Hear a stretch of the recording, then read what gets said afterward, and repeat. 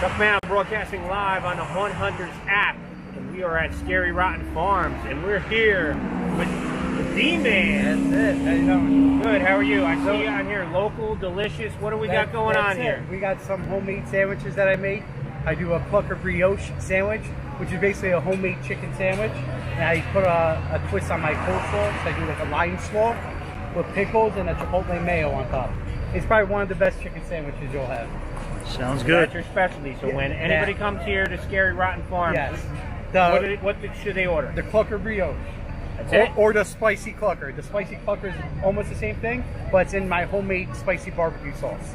Okay, so are you here just during the haunts, or No. could drive by during the day? No, When do you usually, typically- usually, usually I'm all over. So like right now I'm parked in Millstone at Extreme uh, Machines. Okay. You know, and then I'm just waiting for all the events to happen. Okay. So just kind of getting through the day. All right, but you'll be here I'll for be here- every haunt night. Yeah, I'll, I'll be here until the end of October for sure. D-Man in. Brick, New Jersey.